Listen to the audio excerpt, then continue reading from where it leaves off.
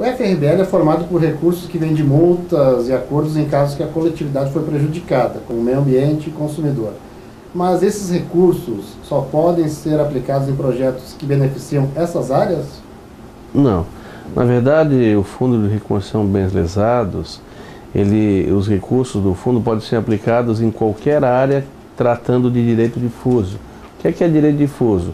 É direito que atinge consumidor, o meio ambiente, como demonstrado, mas também interesse das crianças, da, do, da, da cidadania de modo geral, como os portadores de necessidades especiais, como os idosos, é, enfim, todas as áreas de atuação do Ministério Público relacionados a direito que a gente chama de meta-individuais, direitos de toda a coletividade, o Fundo de Reconstrução Bens é, Lesados pode ser utilizado esse, esses recursos. Basicamente, quando a gente não consegue identificar individualmente quem é prejudicado ou tem que ser indenizado.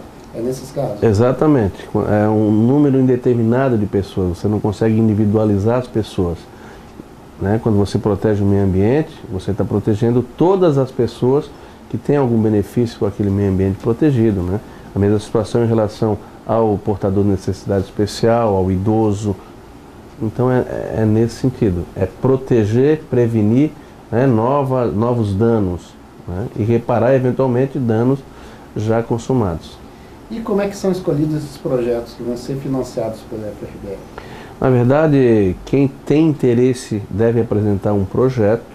Esse projeto passa por um conselho gestor, né, por quem compõe esse fundo de reconstrução de bens lesados, e aí é avaliado tanto os requisitos, vamos dizer assim, de ordem formal, preenchimento de alguns requisitos, como também o próprio mérito daquele projeto, o conteúdo daquele projeto, se aquele projeto efetivamente vai atender os anseios né, de uma população, os anseios da sociedade. Então, esse conselho gestor é que tem essa missão de avaliar a adequação do projeto à finalidade do fundo.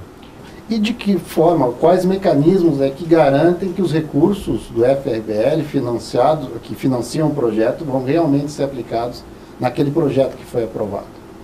É, no momento que se faz a aprovação e análise do projeto, já, já se leva em conta, a, obviamente, a capacidade de execução daquele projeto.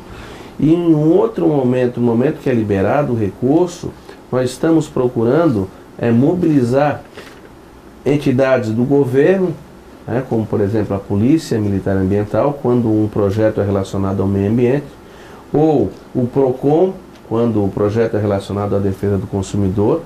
Enfim, a área de atuação que tiver afinidade, o órgão público pode ser chamado para fazer essa fiscalização.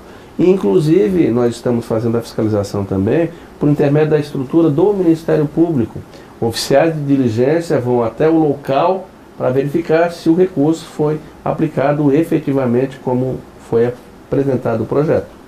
E o, quem faz o projeto, quem, quem gere o projeto, ou seja, a organização que é, foi contemplada com os recursos, ela tem que prestar contas, isso para um TCE, para alguém, para ver se os recursos realmente, financeiramente, a contabilidade está correta? É, a, é prestado contas para o conselho gestor do fundo, a secretaria do fundo faz toda essa análise e também é encaminhada essa prestação, já que é recurso público, essa prestação de contas também é encaminhada ao Tribunal de Contas do Estado. Ok. E o que ocorre se um projeto contemplado é, pelo fundo não é concluído ou aplica os recursos em outra finalidade? É, nós já tivemos alguns exemplos. Os recursos devem então ser devolvidos, inclusive passível de ação penal, de ação civil pública. Né? O recurso, quando ele é é, é entregue de forma parcelada, nós sustamos né, a entrega de demais parcelas, então é feito todo um controle de forma muito cuidadosa para que o recurso seja efetivamente aplicado e se ele não for aplicado de forma devida, ele é resgatado e o gestor então é responsabilizado criminalmente e civilmente. Essa pergunta me ocorreu agora, procurador. Ah, às vezes a, a, a entidade ela ah, pode estar ah, cometendo alguma irregularidade, não por, por, por, intenção. É feito algum tipo de, de capacitação, acompanhamento, assim, é, é, no sentido de orientar, a, essa, nesse caso, a entidade que pegou os recursos é feito esse claro, tipo de... no momento que se aprova o projeto, se tira todas as dúvidas. E claro que o nosso objetivo é sempre colaborar, ajudar, auxiliar.